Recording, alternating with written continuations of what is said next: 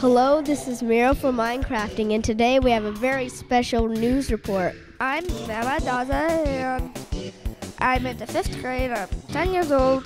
Hello, my name is James Bates, and I'm in the fifth grade. Hello, I'm Audrey Daza, and I'm seven years old. Hi, my name is Claire. Um, I'm 10, and my name is Dominic Garcia, and I'm 10 years old. This program called Minecrafting is the best thing since ever. I like to come and do Minecrafting with all of my friends here.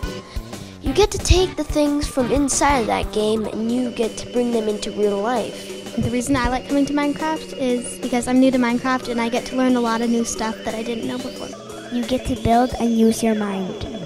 It allows you to express yourself creatively in both the Minecraft game and real life by building things that you never thought you would and it's fun because you actually have to do work and you use your imagination. Well, Minecrafting, it's just, it's simple. You just play Minecraft and make stuff. Minecraft